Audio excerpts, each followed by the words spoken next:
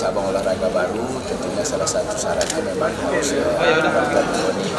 tapi karena ada uh, rencana tanggal 15 nanti ada kegiatan uh, eh, rapat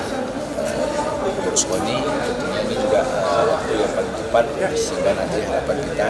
dengan adanya begini ya sama pengurus Sambo sudah bisa bekerja sekaligus juga uh, mengajak kabupaten kota untuk uh, membentuk pengurus-pengurus dan sekaligus sanksi terhadap para atlet di